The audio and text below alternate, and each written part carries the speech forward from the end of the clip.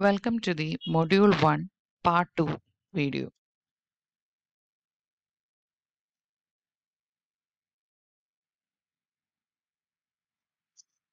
So today we are to discuss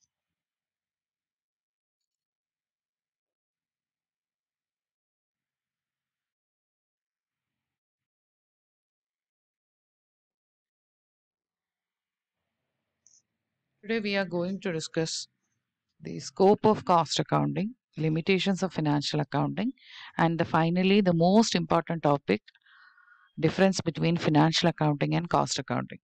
Fifteen mark ക്വസ്റ്റ്യനിലെ ഏറ്റവും important question ആണ് ഈ ചാപ്റ്ററിൽ നിന്ന് വരാൻ സാധ്യതയുള്ളതും ഒരുപാട് തവണ റിപ്പീറ്റഡ്ലി ചോദിച്ചിട്ടുമായുള്ള ഒരു ക്വസ്റ്റ്യൻ ആണ് ലാസ്റ്റ് ടോപ്പിക് ഈ മൂന്ന് ടോപ്പിക്കാണ് നമ്മൾ ഈ ഒരു വീഡിയോയിൽ ഡിസ്കസ് ചെയ്യുന്നത്.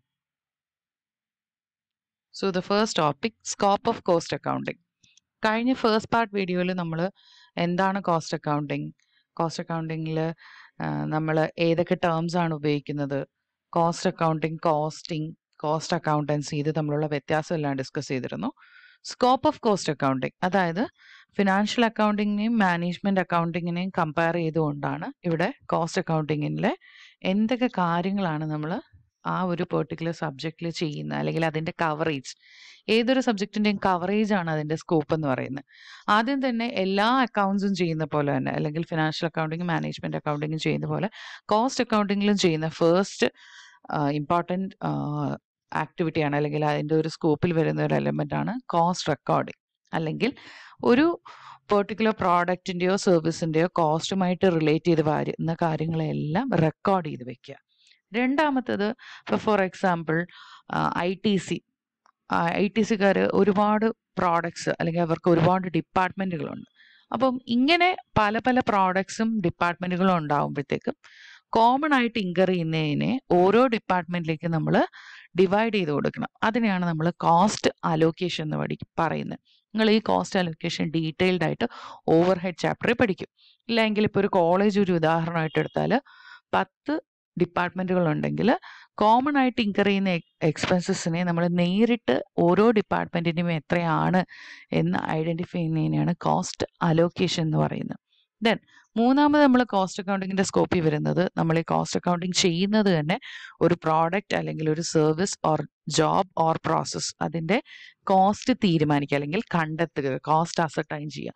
നാലാമത്തത് നമ്മൾ മുൻകൂട്ടി ഒരു പെർട്ടിക്കുലർ ഇയറിൽ തന്നെ ബഡ്ജറ്റ് ഫിക്സ് ചെയ്യാറുണ്ട്. എത്രയാണ് ബഡ്ജറ്റഡ് കോസ്റ്റ് എന്ന്. ആ ബഡ്ജറ്റഡ് കോസ്റ്റും നമുക്ക് ആക്ച്വലി ഇൻകർ ചെയ്യുന്ന കോസ്റ്റും തമ്മിൽ ഒരു കമ്പാരിസൺ നിങ്ങൾ പണ്ട് മാനേജ്മെന്റിലൊക്കെ പഠിച്ചിട്ടുള്ള പോലെ സ്റ്റാൻഡേർഡും ആക്ച്വലും തമ്മിലുള്ള ഒരു കമ്പാരിസൺ എവിടെയാണ് കോസ്റ്റ് കൂടിപ്പോയത് എന്നുള്ള രീതിയിലുള്ള അനാലിസിസ് അതാണ് നാലാമതായി പറയുന്ന കോസ്റ്റ് അനാലിസിസ് ദെൻ അടുത്ത പോയിന്റ് കോസ്റ്റ് കമ്പാരിസൺ ഓരോ പ്രോഡക്റ്റിനും അല്ലെങ്കിൽ ഓരോ ആക്ടിവിറ്റിക്കും അല്ലെങ്കിൽ നമ്മൾ റെൻഡർ ചെയ്യുന്ന സർവീസസിന് നമ്മൾ കോസ്റ്റ് അസർട്ടൈൻ ചെയ്ത് വെച്ചിട്ടുണ്ട്. ആ കോസ്റ്റ് അസർട്ടൈൻ ചെയ്തതിനെ അല്ലെങ്കിൽ കോസ്റ്റ് അനാലിസിസ് ചെയ്തതിന് ശേഷം നമ്മൾ കമ്പയർ ചെയ്യും ബിറ്റ്വീൻ ദ പ്രോഡക്റ്റ് അല്ലെങ്കിൽ ചിലപ്പം between the period of time ഇനി ആറാമത് പറയുന്നത് കോസ്റ്റ് കൺട്രോൾ അപ്പം കോസ്റ്റ് അക്കൗണ്ടിങ്ങിൽ നമ്മൾ ഇത്രയും എഫേർട്ട് എടുത്ത് before the production of a product cost കണ്ടെത്തി അതിനെ അനലൈസ് ചെയ്യുന്ന ഈ ആക്ടിവിറ്റീസ് എല്ലാം ചെയ്യുന്ന. എല്ലാം ഫോർ കോസ്റ്റ് കൺട്രോൾ ആണ്. ദെൻ സെവൻത് വൺ എല്ലാ കോസ്റ്റ് അക്കൗണ്ട്സും അക്കൗണ്ട്സിലെയും വേരിഫിക്കേഷൻ നടത്തുന്ന പോലെ കോസ്റ്റ് അക്കൗണ്ടിങ് ബുക്സിനെയും വേരിഫൈ ചെയ്യാറുണ്ട്. ആ വേരിഫിക്കേഷനെയാണ് നമ്മൾ കോസ്റ്റ് ഓഡിറ്റ് എന്ന് പറയുന്നത് എന്തെങ്കിലും നമ്മൾ ചെയ്തു പോകുന്ന കോസ്റ്റ് അക്കൗണ്ടിങ് സിസ്റ്റത്തിനകത്ത് എന്തെങ്കിലും പോരായ്മയുണ്ടോ എന്നൊക്കെ നമ്മൾ വെരിഫൈ ചെയ്യുന്നതിനാണ് കോസ്റ്റ് ഓഡിറ്റ് എന്ന് പറയുന്നത്. ലാസ്റ്റ് വൺ നമ്മൾ ഈ ആക്ടിവിറ്റീസ് ചെയ്യുന്നതെല്ലാം to present the information before the management കറക്റ്റായ സമയത്ത് തീരുമാനങ്ങൾ എടുക്കാൻ വേണ്ടി മാനേജ്മെന്റിന് ഡിസിഷൻ മേക്കിങ്ങിന് ഹെൽപ്ഫുൾ ആവുന്ന രീതിയിൽ ഈ നമ്മൾ പ്രിപ്പയർ ചെയ്യുന്ന കോസ്റ്റ് അക്കൗണ്ടിങ് റെക്കോർഡ്സിനെ എല്ലാം പ്രസന്റ് ചെയ്യുക. അതാണ് cost reporting moving to the second topic that is limitations of financial accounting നിങ്ങൾക്ക് എല്ലാവരും നിങ്ങളെല്ലാവരും പഠിച്ചിട്ടുള്ള പോലെ തന്നെ ഫിനാൻഷ്യൽ അക്കൗണ്ടിംഗ് എന്ന് പറഞ്ഞു കഴിഞ്ഞാൽ ഒരു ട്രാൻസാക്ഷൻ കഴിഞ്ഞതിന് ശേഷം ആ ഒരു കാര്യം കഴിഞ്ഞതായിട്ട് നമ്മൾ പോസ്റ്റ് മോർട്ടം അനാലിസിസ് എന്ന് പറയും. ഒരു ആക്ടിവിറ്റി കഴിഞ്ഞതിന് ശേഷമാണ് അതിനെ നമ്മൾ റിപ്പോർട്ട് ചെയ്യുന്നത്. അപ്പോൾ when we make reports after the happening of an event അതായത് ഒരു കാര്യം കഴിഞ്ഞതിന് ശേഷം നമ്മൾ റിപ്പോർട്ട് ചെയ്യുമ്പോൾ അതിനെ കൺട്രോൾ ചെയ്യാനും അല്ലെങ്കിൽ പിന്നീട് നമുക്ക് ആ ആക്ഷനെ റിവേഴ്സ് ചെയ്യാനുള്ള പോസിബിലിറ്റി ഒക്കെ വളരെ കുറവായിരിക്കും. എന്ന് വെച്ചാൽ പറയുന്നത് കോസ്റ്റ് അക്കൗണ്ടിങ്ങിൽ നമ്മൾ നേരത്തെ കഴിഞ്ഞ വീഡിയോ പാർട്ടിൽ തന്നെ പറഞ്ഞിരുന്നു. Before the production of a product അല്ലെങ്കിൽ ബിഫോർ റെൻഡറിങ് എ സർവീസ് നമ്മൾ അതിന്റെ കോസ്റ്റ് കണ്ടെത്തും. അത്രയും നേരത്തെ തന്നെ. അപ്പം ആക്ടിവിറ്റി കഴിഞ്ഞു പോകുന്നതിന് മുന്നേ നമുക്ക് അതിന്റെ കോസ്റ്റിനെ കൺട്രോൾ ചെയ്യാനായിട്ട് പറ്റും. പക്ഷെ ഫിനാൻഷ്യൽ അക്കൗണ്ടിങ്ങിന് അങ്ങനെ സാധിക്കില്ല. കാരണം എല്ലാം കഴിഞ്ഞതിന് ശേഷമായിരിക്കും നമ്മൾ അത് റെക്കോർഡ് ചെയ്യുന്നത് അല്ലെങ്കിൽ ആ ട്രാൻസാക്ഷൻസ് റെക്കോർഡ് ചെയ്യുന്നത് അപ്പോൾ ഫിനാൻഷ്യൽ അക്കൗണ്ടിങ്ങിനകത്ത് ഒരു പ്രോഡക്റ്റിന്റെ കോസ്റ്റ് ഡീറ്റെയിൽസ് വരാറില്ല. ഒരു പ്രോഡക്റ്റിന് പ്രൈസ് ഫിക്സ് ചെയ്യാൻ നമുക്ക് സാധിക്കാറില്ല. കഴിഞ്ഞ കാര്യങ്ങൾ ആദ്യമേ പറഞ്ഞ പോലെ തന്നെ ഹിസ്റ്റോറിക്കൽ ഡേറ്റ കഴിഞ്ഞു പോയതിനെ പറ്റി മാത്രം പറയുന്നു. രണ്ട് പ്രോഡക്റ്റുകൾ തമ്മിലുള്ള കോസ്റ്റിന്റെ കമ്പാരിസണ് പറ്റില്ല. കാരണം കോസ്റ്റ് ഒക്കെ ഫിക്സ് ചെയ്ത് അത് സെയിലും ചെയ്ത് കഴിഞ്ഞിട്ടായിരിക്കും നമ്മളത് റെക്കോർഡ് ചെയ്യുന്നത് പിന്നെ അഞ്ചാമത്തെ പോയിന്റ് പറയുന്നത് നമുക്ക് ഡിസിഷൻ മേക്കിംഗ് കൃത്യസമയത്ത് ഡിസിഷൻസ് എടുക്കാൻ പ്രത്യേകിച്ച് കോസ്റ്റ് കൺട്രോളുമായിട്ടുള്ള കാര്യങ്ങളോ അല്ലെങ്കിൽ കോസ്റ്റ് റിഡക്ഷനുള്ള റിഡക്ഷനോ അത് സഹായിക്കില്ല. ലാസ്റ്റ് വൺ ആക്ടിവിറ്റീസ് കഴിഞ്ഞു കഴിഞ്ഞ് നമ്മൾ റെക്കോർഡ് ചെയ്യുന്നതുകൊണ്ട് തന്നെ നമുക്ക് ഇം എഫിഷ്യൻസി ഇമ്പ്രൂവ് ചെയ്യാനായിട്ടും സാധിക്കില്ല. അപ്പോൾ ഓൾവേസ് പാസ് ഡേറ്റ അല്ലെങ്കിൽ ഹിസ്റ്റോറിക്കൽ ഡേറ്റ ആയതുകൊണ്ട് തന്നെ അതിന്റെ എല്ലാ ലിമിറ്റേഷൻസും ഫിനാൻഷ്യൽ അക്കൗണ്ടിങ്ങിലും ഉണ്ടായിരിക്കും.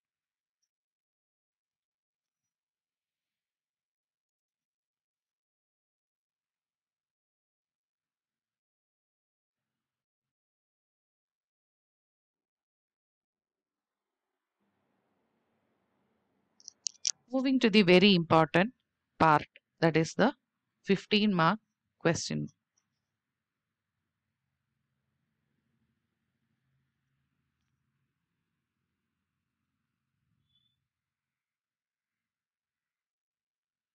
Fifteen mark question ആണ് ഈ പറയുന്നത് what is the difference between financial accounting and cost accounting so here നിങ്ങൾ ശ്രദ്ധിക്കേണ്ട കാര്യം you just study the basis column അതായത് ഈ പോയിന്റ് ഓഫ് ഡിഫറൻസ് എന്ന് പറയുന്നതിന് മനസ്സിലാക്കി വെക്കുക. ബാക്കി പോയിന്റ്സ് നിങ്ങൾക്ക് സ്വന്തമായിട്ട് എഴുതാം. ഇപ്പൊ ഫേസ്റ്റ് പോയിന്റ് പറയുന്നത് മീനിങ് ഫിനാൻഷ്യൽ അക്കൗണ്ടിങ് ചെയ്യുന്ന എന്താ? ഒരു പെർട്ടിക്കുലർ ബിസിനസ്സിന് പ്രോഫിറ്റ് ആണോ ലോസ് ആണോ എന്ന് അസർട്ടൈൻ ചെയ്യുന്നു. After the happening of the event cost accounting ചെയ്യുന്നതോ ഒരു പ്രോഡക്റ്റ് അല്ലെങ്കിൽ ഒരു സർവീസ് റെൻഡർ ചെയ്യുമ്പോൾ ഇൻകർ ചെയ്യുന്ന എക്സ്പെൻസസ് എന്താണ്? അതാണ് കോസ്റ്റ് അക്കൗണ്ടിങ് ചെയ്യുന്നത്. റെക്കോർഡിംഗ് ഓഫ് ദി എക്സ്പെൻസസ് ഇനി രണ്ടാമത്തെ ഒബ്ജക്റ്റ് നമ്മൾ ഫിനാൻഷ്യൽ അക്കൗണ്ടിങ്ങിൽ ചെയ്യുന്ന കാര്യങ്ങൾ എന്ന് പറഞ്ഞു കഴിഞ്ഞാൽ അല്ലെങ്കിൽ ഫിനാൻഷ്യൽ അക്കൗണ്ടിങ്ങിൽ നമ്മൾ ചെയ്യുന്നത് we are ascertaining the profitability അല്ലെങ്കിൽ അവരുടെ ഫിനാൻഷ്യൽ പൊസിഷൻ ബാലൻസ് ഷീറ്റിലൂടെ ഫിനാൻഷ്യൽ പൊസിഷൻ മനസ്സിലാക്കുന്നു പക്ഷേ കോസ്റ്റ് അക്കൗണ്ടിങ് ചെയ്യുന്നത് കോസ്റ്റ് കൺട്രോൾ കോസ്റ്റ് റിഡക്ഷൻ അല്ലെങ്കിൽ കറക്റ്റ് സമയത്ത് എങ്ങനെ ഡിസിഷൻസ് എടുക്കാം എന്നുള്ളതാണ് കോസ്റ്റ് അക്കൗണ്ടിങ്ങിൽ ചെയ്യുന്നത്. ദെൻ എൻ റിക്വയർമെന്റ് അതായത് ആസ് പെർ ഏതെങ്കിലും നിയമവശാലുള്ള ആക്ട് പ്രകാരമാണോ നമ്മൾ ബുക്സ് മെയിന്റെയിൻ ചെയ്യുന്നത്. ഫിനാൻഷ്യൽ അക്കൗണ്ടിങ്ങിൽ കമ്പനീസ് ആണ് എങ്കിൽ അവർ കമ്പനീസ് ആക്ട് പ്രകാരം ഉള്ള ബുക്സ് ആണ് മെയിന്റെയിൻ ചെയ്യേണ്ടത്. പിന്നെ ഇൻകം ടാക്സ് ആക്ടും അവർക്ക് ആപ്ലിക്കബിൾ ആയിരിക്കും. പക്ഷേ കോസ്റ്റ് അക്കൗണ്ടിങ്ങിൽ നമ്മൾ ബുക്സ് മെയിന്റെയിൻ ചെയ്യുന്നത് മാനേജ്മെന്റിന് കറക്റ്റ് ടൈം ഡിസിഷൻസ് എടുക്കാൻ വേണ്ടിയായിരിക്കും. ദെൻ എളുപ്പം നിങ്ങൾക്ക് എഴുതാൻ പറ്റുന്ന ഡിഫറൻസ് ആരാണ് ഇത് പ്രിപ്പയർ ചെയ്യുന്നത്? ഫിനാൻഷ്യൽ അക്കൗണ്ടിങ്ങിൽ ഫിനാൻഷ്യൽ അക്കൗണ്ടന്റ് ആണെങ്കിൽ കോസ്റ്റ് അക്കൗണ്ടിങ് ബുക്സ് പ്രിപ്പയർ ചെയ്യുന്ന കോസ്റ്റ് അക്കൗണ്ടന്റ് ആണ്. ലാസ്റ്റ് വൺ എന്തൊക്കെയാണ് ഒരു ഫിനാൻഷ്യൽ അക്കൗണ്ടിങ്ങിൽ കവറേജ് വരുന്ന? അഞ്ചാമത്തെ പോയിന്റ് എല്ലാ ട്രാൻസാക്ഷനും വരും. പക്ഷേ കോസ്റ്റ് അക്കൗണ്ടിങ്ങിൽ ഒരു പ്രോഡക്റ്റ് അല്ലെങ്കിൽ ഒരു സർവീസ് മാനുഫാക്ചർ ചെയ്യുക അല്ലെങ്കിൽ റെൻഡർ ചെയ്യുക അതുമായി റിലേറ്റ് ചെയ്തത് മാത്രമേ വരുന്നുള്ളൂ.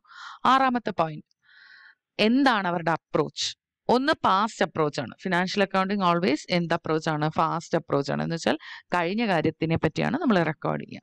പക്ഷെ എസ്റ്റിമേറ്റുകൾ അല്ലെങ്കിൽ നിങ്ങൾ പത്രത്തിലൊക്കെ പരസ്യം കണ്ടിട്ടുണ്ടായിരിക്കും ടെൻഡർ കൊട്ടേഷൻസ് ഒക്കെ ഇൻവൈറ്റ് ചെയ്ത് അതായത് ഒരു റോഡ് പണി അല്ലെങ്കിൽ ഒരു പെർട്ടിക്കുലർ കൺസ്ട്രക്ഷൻ ആക്ടിവിറ്റി നടക്കുന്നതിന് മുന്നേ അതിന്റെ കോസ്റ്റ് പറഞ്ഞുകൊണ്ട് അല്ലെങ്കിൽ കോസ്റ്റ് റെക്കോർഡ് ചെയ്തുകൊണ്ട് ടെൻഡർ അല്ലെങ്കിൽ കൊട്ടേഷൻ ഇൻവൈറ്റ് ചെയ്യും. എന്ന് വെച്ചാൽ ഫ്യൂച്ചർ എസ്റ്റിമേറ്റുകളാണ് നമ്മളവിടെ പ്രിപ്പയർ ചെയ്യുന്നത്. Then next difference recording revenue expenditure capital expenditure അങ്ങനെ ഒരു ഡിഫറൻസിന്റെ ബേസിസിലായിരിക്കും നമ്മൾ ഫിനാൻഷ്യൽ അക്കൗണ്ടിങ്ങിനകത്ത് റെക്കോർഡ് ചെയ്യുക. പക്ഷേ ഇവിടെ എന്ത് പർപ്പസിനാണോ കോസ്റ്റ് ഇൻകർ ചെയ്യുന്നത്? അതായത് ഒരു പ്രോഡക്റ്റ് അല്ലെങ്കിൽ ഒരു സർവീസിന്റെ റെൻഡറിങ്ങുമായി റിലേറ്റ് ചെയ്ത് എന്ത് പർപ്പസിനെ നമ്മൾ സ്പെൻഡ് ചെയ്യുന്നു? അതിനനുസരിച്ചായിരിക്കും കോസ്റ്റ് അക്കൗണ്ടിങ്ങിൽ റെക്കോർഡ് ചെയ്യുക. വെരി ഇമ്പോർട്ടന്റ് സ്റ്റോക്ക് വാലുവേഷൻ നിങ്ങൾ പഠിച്ചിട്ടുണ്ട് financial അക്കൗണ്ടിങ്ങിൽ cost price or market price whichever is ലെസ്സിലായിരിക്കും stock value ചെയ്യുന്നത്. പക്ഷേ കോസ്റ്റ് അക്കൗണ്ടിങ്ങിൽ അത് എല്ലായ്പ്പോഴും കോസ്റ്റ് പ്രൈസിന്റെ ബേസിസിലായിരിക്കും ദെൻ നെക്സ്റ്റ് ഡിഫറൻസ് ഇവിടെ മാനേജ്മെന്റിനെ ഗൈഡ് ചെയ്യാനോ അല്ലെങ്കിൽ മാനേജ്മെന്റിന് കൃത്യമായ പോളിസീസ് എടുക്കാനോ ഒന്നും ഫിനാൻഷ്യൽ അക്കൗണ്ടിങ്ങിലെ ഡേറ്റ ഹെൽപ്ഫുൾ ആയിരിക്കില്ല. പക്ഷേ പ്രൈസ് തീരുമാനിക്കാൻ അല്ലെങ്കിൽ വളരെ ഫ്യൂച്ചറിസ്റ്റിക് ആയിട്ട് പ്രോഡക്റ്റിന്റെ പ്രൊഡക്ഷനും സർവീസും റെൻഡർ ചെയ്യുന്നതിന് മുന്നേ തന്നെ മാനേജ്മെന്റിന് പ്രൈസ് ഫിക്സ് ചെയ്യാൻ വരെ വളരെയധികം ഹെൽപ്ഫുൾ ആണ് cost accounting the last difference financial accounting ഒരിക്കലും കോസ്റ്റ് അക്കൗണ്ടിങ്ങിനെ ഡിപ്പെൻഡ് ചെയ്യുന്നില്ല. പക്ഷേ cost accounting depends on financial accounting കുറച്ച് ഇൻഫർമേഷനൊക്കെ വേണ്ടിയിട്ട് കോസ്റ്റ് അക്കൗണ്ടിങ് ഫിനാൻഷ്യൽ അക്കൗണ്ടിങ്ങിനെ ഡിപ്പെൻഡ് ചെയ്യാറുണ്ട്. Before watching I will upload the next video soon Thank you.